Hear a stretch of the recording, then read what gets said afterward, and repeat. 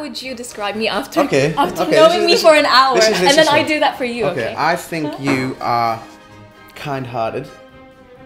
I think you're fun and silly. Yay! I give you good one. Now give me good ones. Fun, kind-hearted, and silly. I Yeah. think so. I think you are very, um, also very kind. Yeah. I mean, you can just see it on his face. yeah, very kind. I think you're um, ambitious. Yeah. Yeah. And I think you're adventurous. She beat me. I said fun and silly.